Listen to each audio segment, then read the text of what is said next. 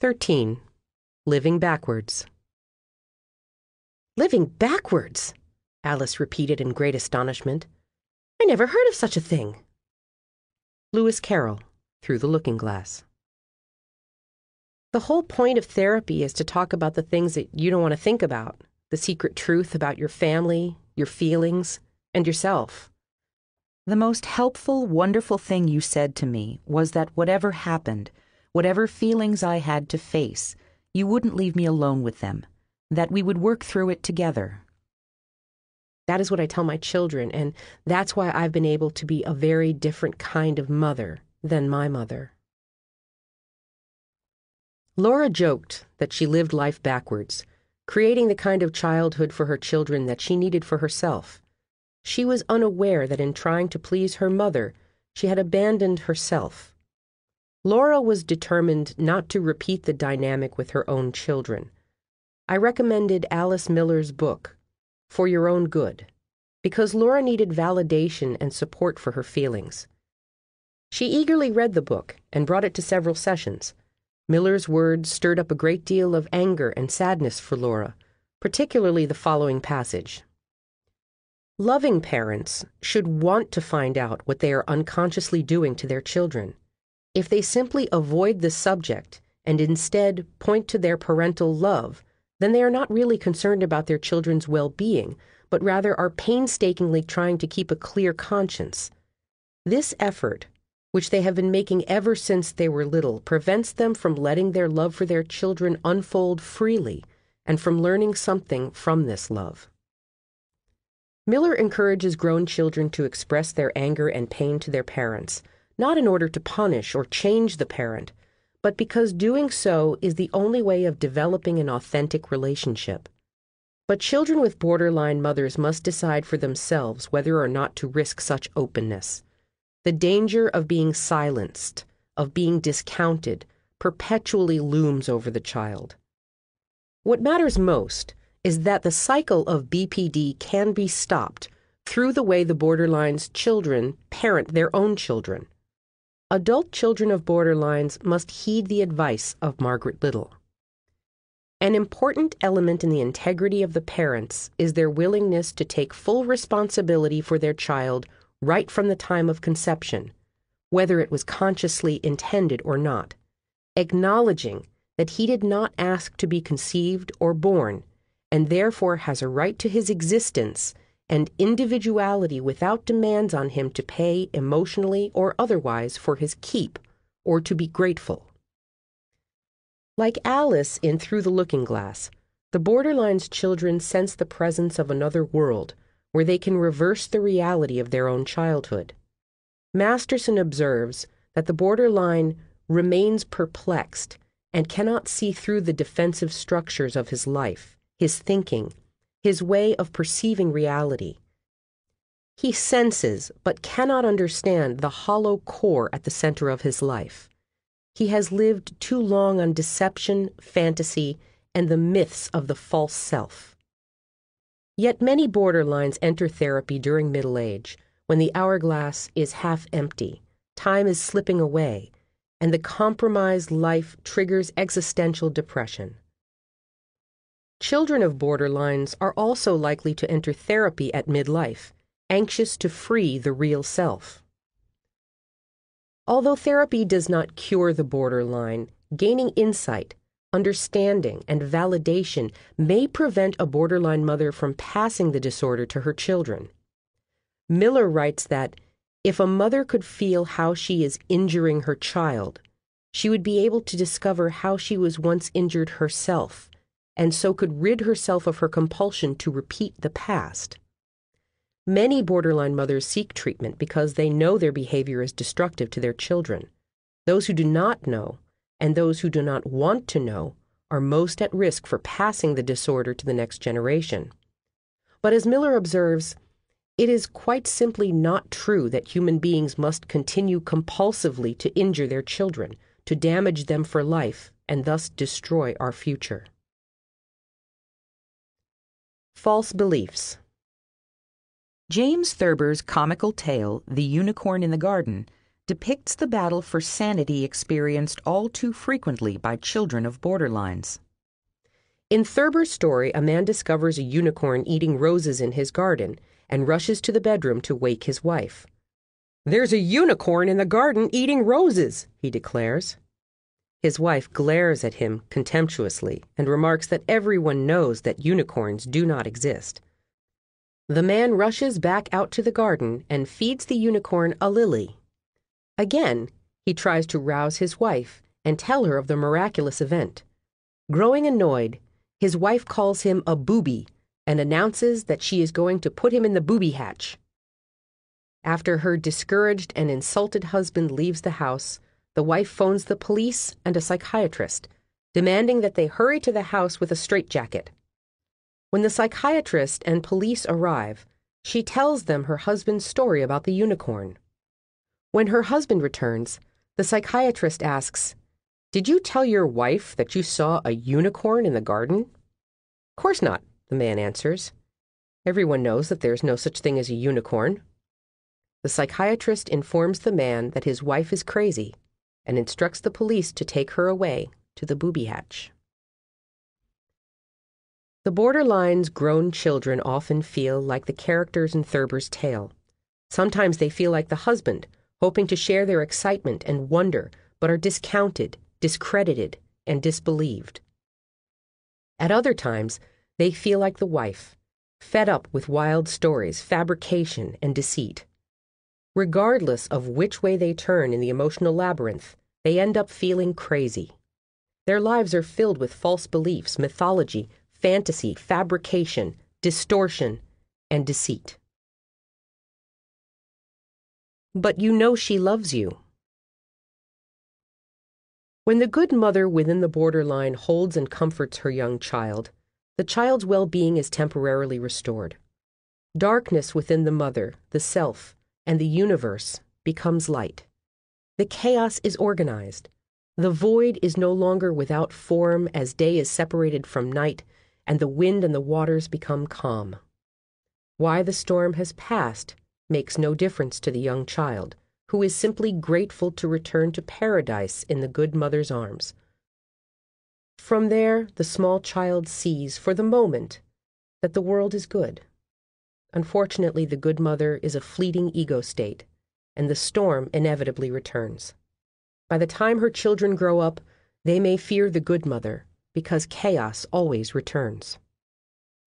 Concentration camp survivor Primo Levi wrote Compassion and brutality can coexist in the same individual and in the same moment, despite all logic. At a very early age, children of borderlines know that there is something wrong with their mother. Music theorists use the term counter discourse to describe the profoundly disturbing experience of receiving a message in which one parameter of a communication is at variance with another. For example, hearing a piece of music that was written to be played with soft elegance played harshly and loudly. Equivalent human experiences include a crushing embrace, an eerie smile, or an icy compliment. The visceral reaction is unbearable as the brain struggles to process two conflicting experiences. When a preschool teacher observed a three year old boy chewing gum in class, the teacher walked calmly over to the child and said sweetly, Tommy, do you have chewing gum in your mouth? Unabashed, the little boy looked up at her and answered honestly, Yes, Mrs. Baker, my mommy gave it to me. Still smiling and talking softly to the child, the teacher said, Tommy, I want you to take the gum out of your mouth and place it at the end of your nose. You get to wear the gum on your nose today. Contentment fell from the child's face as he studied his teacher, trying to process the counter discoursive message.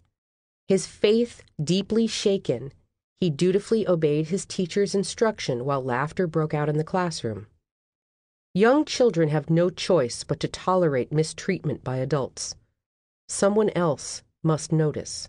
Someone else must help.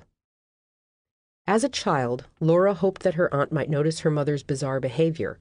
Her aunt, however, frequently told Laura how lucky she was to have a mother who loved her. She told Laura that she needed to build her mother's self esteem, reinforcing the pathological role reversal Adults who still idealize their own abusive parents are unable to acknowledge the absurdity of being asked to trust someone you fear. No one expects prisoners of concentration camps to trust their captors. Children of borderlines are often told, Your mother loves you. That's just the way she is. She didn't mean it, or she can't help it, as if children should ignore their own intuition that tells them they have been hurt. These messages not only encourage repression of legitimate anger and pain, but also lead children to believe that their mother's behavior is acceptable. Tolerating inappropriate or abusive behavior requires the betrayal of the self.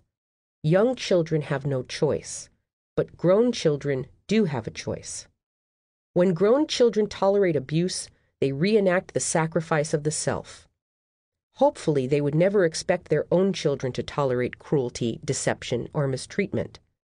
Something is wrong if we fear the person who loves us. Anyone who encourages us to trust a person we fear does not have our best interests at heart. Can she help it or not?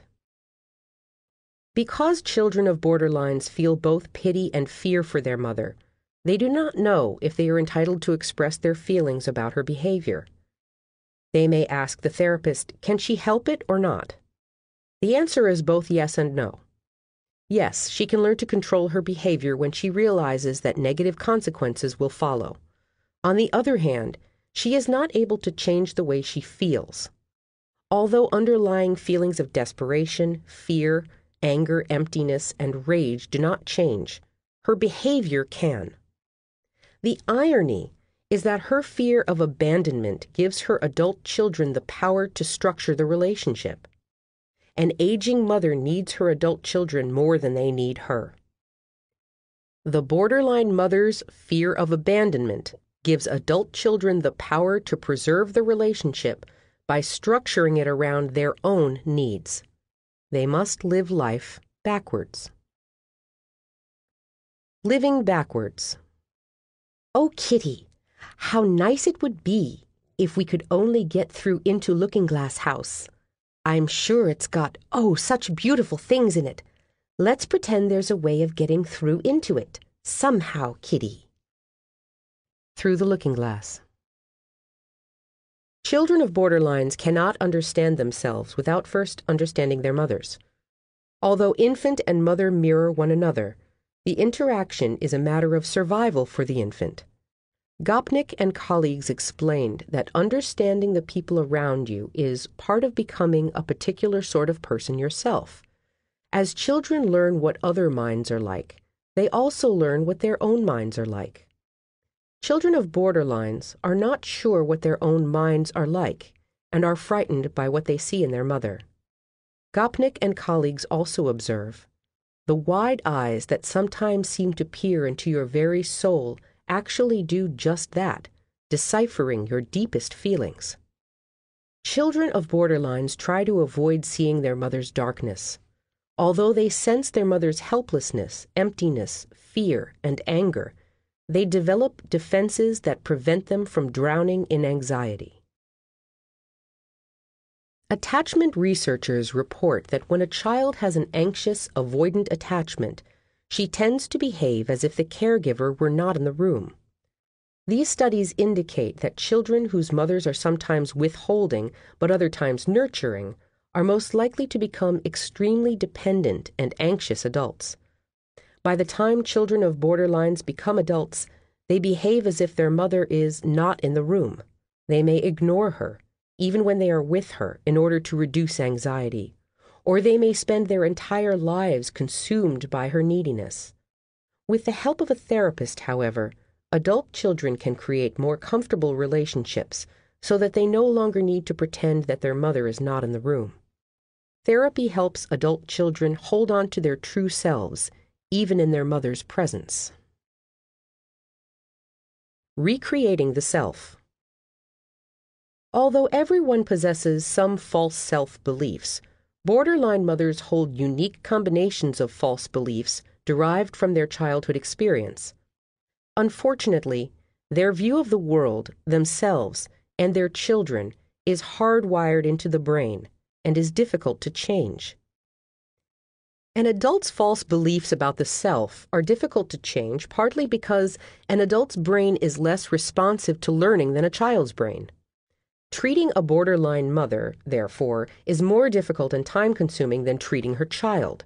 Developmental researchers explain that young children create internalized working models that are systematic pictures of how people relate to one another, theories of love, like scientific theories, they can be changed with enough new evidence. As children get new information about how people work, especially how people work together in intimate ways, they modify their own views. Even abused children often seem to escape long lasting damage if there is somebody around who doesn't turn away. Although neuroscientists report that the lack of consistently warm, responsive care during childhood alters the brain's biochemistry, they have also discovered that the brain's plasticity allows new neural pathways to continue to develop in response to new situations and experiences. Masterson refers to the therapist as the guardian of the real self. Long term difficulties with intimate relationships result because of the split in the perception of the mother as well as the self. The good me is compliant, obedient, immature, and passive. The bad me wants to grow, to separate, to explore the world, to be autonomous and adventuresome. The good mother approves of the good child, while the bad mother disapproves of the bad child. The good mother supports and encourages the regressive behavior, while the bad mother grows hostile, critical, and angry when confronted with the child's assertive behavior. The child's belief that the good me must not be assertive results in an unfulfilled life. Changing false self beliefs requires rerouting neural pathways. Although borderline mothers and their children can benefit from the use of antidepressants and anti anxiety medication, long term therapy is needed to rewire neural pathways in order to perceive the self and the world more positively. The safety of a therapeutic relationship allows the real self to surface without the fear of being judged, criticized, or misunderstood. Laura no longer needed to repress her pain or her rage and therefore did not project it onto her own children. She learned the difference between fear and love and was determined to raise her children with empathy and compassion for their true selves. She mourned with genuine sadness the losses she experienced in her own childhood and felt a strong sense of entitlement to enjoying her children's childhood. Children of borderlines may spend their entire lives trying to understand their mother and themselves. They are preoccupied with sorting out the meanings of interactions, studying their own perceptions, and questioning the intentions of others. Helene Deutsch, the first leading female member of Freud's Vienna Society of Psychoanalysts, was drawn to studying the theme of phony identity and inauthenticity because of her resentment toward her own mother. Children of borderlines must work through intense feelings of rage not only toward their mothers, but also toward their fathers. Masterson comments on the significance of the absent father in the stories of Snow White and Cinderella. The absence of a father in these stories replicates the real life drama of children with borderline mothers. The father's failure to intervene in the pathological dynamics between mother and child can leave the child with fantasies of being rescued from the ongoing battle for emotional survival. The father, however, is often torn between loyalty to his wife and loyalty to his children. The borderline wife's retaliatory rage and sensitivity to abandonment can leave both father and child fearful and torn between the objects of their love. The borderline's children often repress their anger at their fathers and are not able to express these terrifying feelings until deep into therapy. Idealization of the father prevents depression and rage from surfacing and protects the child from feeling orphaned. Without treatment, children of borderlines may never accomplish the crucial task upon which their survival depends understanding their mother. Maternal depression is known to interfere with the part of the brain associated with the expression and regulation of emotions, and chronic stress can result in chronic illness. Therapists note that no good adult children of borderline mothers often suffer from autoimmune disorders such as lupus, scleroderma, chronic fatigue, or fibromyalgia. Unconscious muscle rigidity from living in a chronic state of fear may eventually take a physical toll. The nature of the attachment with one's mother has a decisive and pervasive impact on the self, both physically and emotionally. Adult children of borderline mothers must return to the past for the sake of their future. The last half of their lives can become the best half if they disinter the real self and rediscover their lost exuberance, their own free will, and their uninhibited creative self. Many adult children who enter therapy report disturbing dreams of returning to high school, feeling ashamed to be middle aged, and having to catch up on something they missed learning. In these dreams, they report feeling angry, resentful, and embarrassed that no one had given them proper instructions or clearly explained the assignment. They unconsciously know that they missed a developmental step during adolescence, that they were not adequately prepared for separation and individuation. Their anxiety focuses on not knowing what to do, feeling lost and left behind. Therapy is the only course to take. No greater gift exists than a life of unrestrained love and joy. The relationship between therapist and patient provides the diploma needed to graduate to a brighter world. Finding the Light Each new day brings us closer to untangling the complex web of BPD. As threads of various disciplines are woven together, researchers may soon discover more effective treatment for the cognitive and emotional dysfunction that characterizes BPD. Freud wrote, The assumption that everything past is preserved holds good even in mental life, only on condition that the organ of the mind has remained intact and that its tissues have not been damaged by trauma or inflammation. Neuroscientists now know that people who suffer childhood trauma may suffer from persistent hyperactivity in certain regions of the brain, and that the brains of individuals who suffer from PTSD differ from those with depression. There is every reason to hope that BPD can be prevented, if not someday cured. Although childhood trauma and loss cannot be prevented, allowing children to express their grief fully and openly may prevent BPD. Children who are allowed to express overwhelming emotion will not drown in grief. Lewis Carroll conveyed the child's feelings in Alice's Adventures in Wonderland. I wish I hadn't cried so much, said Alice, as she swam about, trying to find her way out. I shall be punished for it now, I suppose, by being drowned in my own tears. Children need to be held, to be mirrored, to be soothed and to be given some control throughout their childhood, but especially following separation and loss. Unbearable pain that is expressed, heard, and believed becomes bearable. The ideal mother lovingly accepts the child's true feelings, rage and all, because she faced her true feelings about her own upbringing. Although such a mother is rare, children of all ages know one when they see one. Every Sunday, I watch groups of small children flock around an 81 year old woman in our church.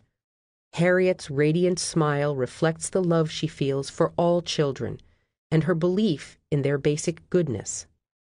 I once asked her to tell me about her own mother. Tears filled her eyes as she told me that her widowed mother raised five children during the Great Depression. The center of Harriet's universe was an unfailing source of warmth and light. After our brief conversation, Harriet sent me a copy of a cherished poem written by her mother, apparently entitled Motherhood. O oh, youth, I would be mother to you all. I know so well your deepest, direst needs, who have been mother to daughters and sons, and learned to comprehend their thoughts and deeds. I am so thankful that no bounds are set On this estate, so very near divine, But reaches world around and comes to fruit, Wherever needs of yours reach needs of mine. In this there are no ties of blood or state The blessed gift of motherhood can't bind. O youth, I would be mother to you all, And make those needs of yours meet needs of mine. Mrs. Katie Martin. The blessed gift of motherhood knows no bounds. No ties of blood or state exist where the emotional needs of children are concerned. Healthy love is contagious. It is passed from one generation to the next, just as BPD is passed to future generations. One of Harriet's most precious memories is the day she was baptized by immersion in the stream on her family farm. She wrote, After my immersion on the most beautiful warm June day, and as the minister led me to the edge of the stream, there was my wonderful mother, holding a soft cotton blanket, and she so lovingly enfolded me in her arms and held me so tightly that I felt great love, approval, and safety in her arms. I do believe that part of the memory is even more significant and meaningful than the actual baptism. Harriet had no fear of drowning, as she was led to the edge and engulfed by water because she knew that her mother was watching. She trusted her mother completely, the opposite experience of children with borderline mothers. Make believe mothers are not hard to find in reality although others may pretend not to see them. Although most people know someone who exhibits symptoms of BPD, few people have the courage to intervene. A patient who was raised by a borderline mother witnessed a mother belittling her child in a grocery store. The patient was filled with rage toward the mother and sadness for the child. After carefully weighing the consequences of intervening, she followed the mother to the checkout and said, You are so lucky to have such a wonderful child. I can see how much he loves you and how important your love is to him. I'm sure it isn't easy being a parent. Then she turned to the child and said, You're a good little boy. The mother was momentarily speechless. Finally, she muttered, Thank you. And as she walked out of the store, the patient noticed that her tone of voice was softer and she saw a smile spread across the child's face. The patient had the courage to be honest, yet gentle, with a mother and child who needed help. She replaced the mother's negative projections with a positive perspective of her child and gave the child a positive view of himself, at least momentarily. Such experiences provide light in the midst of darkness for both mother and child. If we could remember our own childhood wish that some adult, somewhere, might notice our pain, perhaps we could follow in this patient's footsteps. We must move beyond asking, why didn't somebody do something? We must ask why we do nothing when children are abused in front of our own eyes in the grocery store, at the airport, or in the shopping mall. For five years, an elementary school art teacher observed an obese fifth grader bullying and being bullied by his peers. Every day she had witnessed violent language exchanged by the student and his peers. I'm going to get my gun and shoot you, the student threatened. We'll shoot you back, his classmates taunted. Two weeks before the end of the school year, just before the student's graduation to middle school, the teacher sacrificed her lunch hour to speak to him. She called the young boy to her room and said, Damon, I don't give up my lunch for just anyone, but I want you to know that you have one person who believes in you. You are smart. You have a lot of potential. But if you don't learn to ignore people who pick on you, you'll be dead before you get to high school. I don't want to read your name in the obituaries. Six years later, the teacher received a phone call from the local school board inviting her to attend a ceremony honoring Damon as the most at risk student to graduate in the top 10% of his high school class. At the ceremony, Damon announced to the audience that the one person who had made a difference in his life and changed the way he saw himself was his elementary school art teacher. He described this pivotal moment. Our lunch hour talk near the end of fifth grade was the first time in my life that anyone had said they believed in me. I believe in you are words that make believe mothers and their children need to hear. Believing in the self is the key to healthy self esteem and mental health. Borderline mothers cannot give their children this gift because they never received it themselves. Without intervention, their emptiness, hopelessness, rage, and fear will be passed to the next generation. The British philosopher Edmund Burke claimed that the only thing necessary for the triumph of evil is for good men to do nothing. Borderline mothers are not evil. Evil lies in the darkness of unawareness. They cannot see what they are doing. Those of us who can see must shine the light of our understanding like a beacon guiding a ship to harbor, or share in the responsibility of allowing mothers to drown their own children in a sea of despair.